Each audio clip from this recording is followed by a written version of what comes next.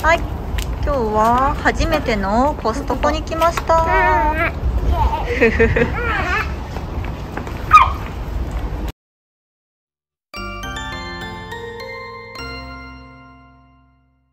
初めてなのでまずご入会。入会します。今からすげえ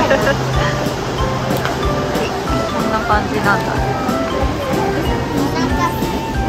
お腹空いちゃった。早いなご入会します。よしじゃあお腹もいっぱいになったところでじゃあ中に入っていきます。まだ危ないのでお友の方を押していただくようお願いいたします。コストコデビューです。あテレビも売ってるんだす。ごいほんと倉庫みたいだねいろいろ入って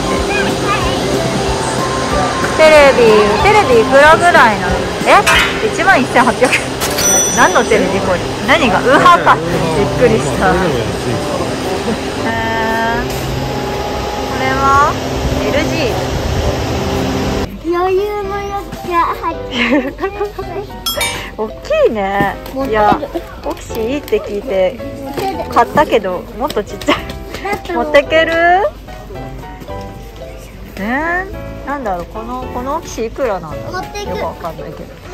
こんな大きいんだ。びっくり。りんちゃんがオキシを運びます。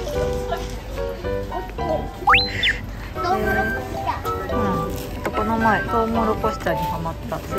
トウモロコシ茶をゲット。甘い。ねえなんか炭酸水てい、コストコ購入。朝のバーベキュー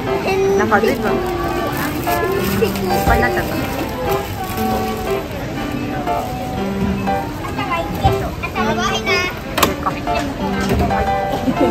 初めてだからちょっと張り切って買いすぎちゃった感じ。気のせいだよ。本当？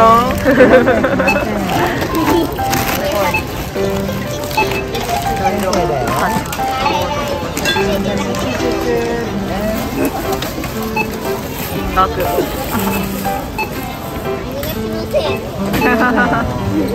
っちゃん。見間違えた。見間違えた。見間違えたと思った。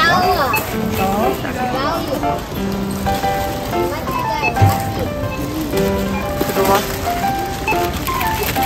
プリンソックスジャッ早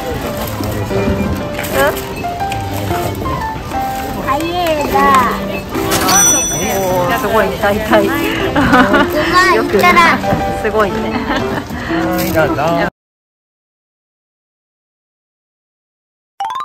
で私が今回初めてコストコに行って一番いい収穫をしたというものこれを紹介していきたいと思います。それがですねこちらです。これそう動画でもちょっと映したかな？あのーまあいわゆるマッサージガンというやつなんですけどもこれあの実はですね私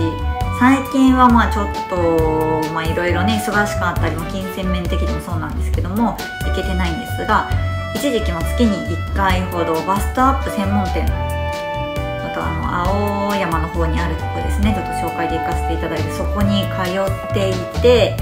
でその時にそのねバストアップのプロフェッショナルの方がちょっとあのバスタージケアをするにあたってちょっとおすすめの簡単にできる何かをちょっとお伺いしたところこのマッサージガンがいいよっていうことを教えてくれたのでずっと気にはなっていたんですがなんか結構ね調べちゃうと値段がピンキリで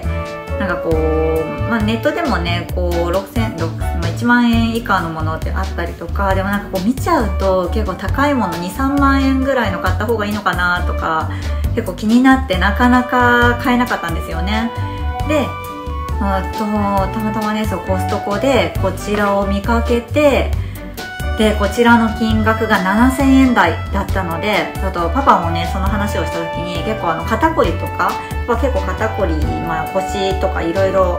こりがすごいのでなんか話をした時、まあ、ちょっとこりにもいいんじゃないかって気になってたのでちょっとパパも気になったので買ってもらいました。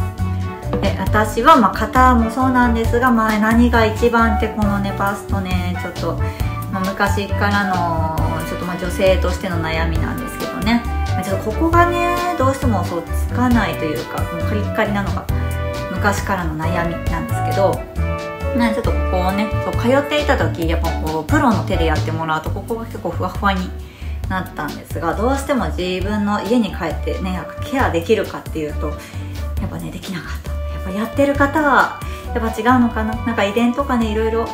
バストあると思うんですけど、まあ、そこもねこうやっぱお洋服着た時とか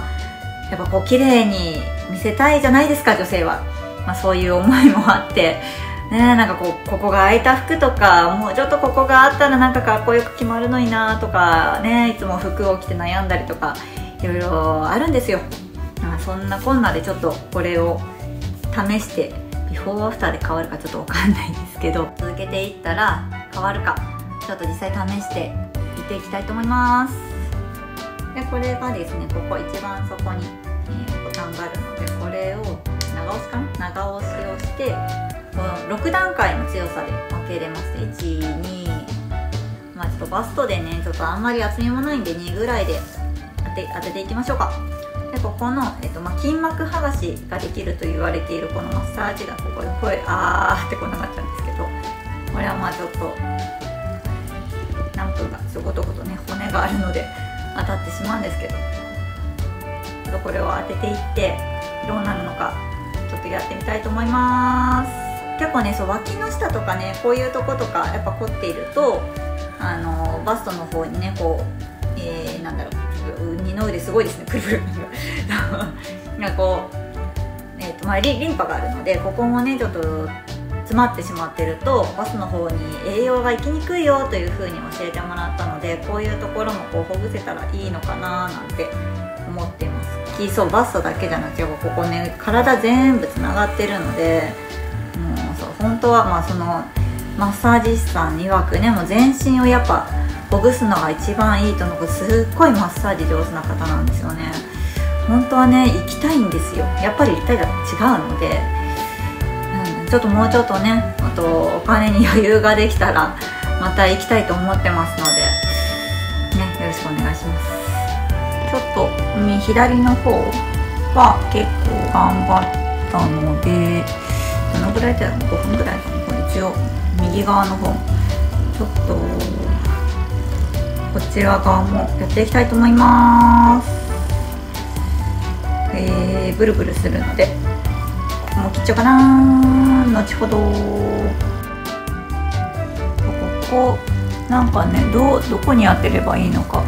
今度もし行ける時あったらもしなんかねちょっと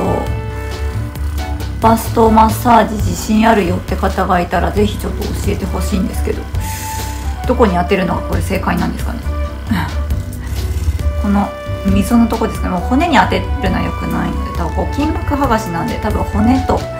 筋肉のね間のところにこう当てていくのが正解なのかなとは思うんですが。こうねちょっと少し押し当てながら右側も頑張っていきたいと思います、